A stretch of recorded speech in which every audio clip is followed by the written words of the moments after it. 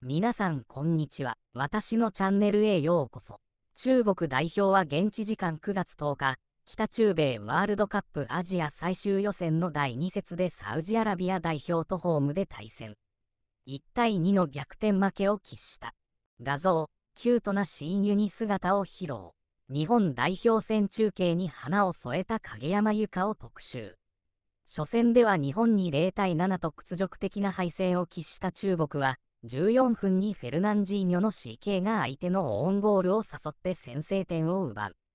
その5分後には、ジャン・シャンロンの腹部を蹴り上げたサウジアラビアのカノが、レッドカードを受けて退場。